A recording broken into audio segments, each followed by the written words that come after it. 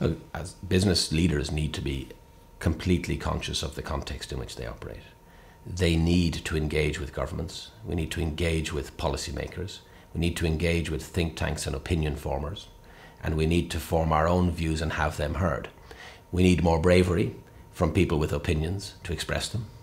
And we need that bravery to be repeated, not occasional. So I'm a real proponent of if you think it, say it, provided you've thought about it properly, um, and indeed contribute to the debate. It is not reasonable to sit quietly in a corner, knowing that something is not quite right or needs attention, and not to raise your voice.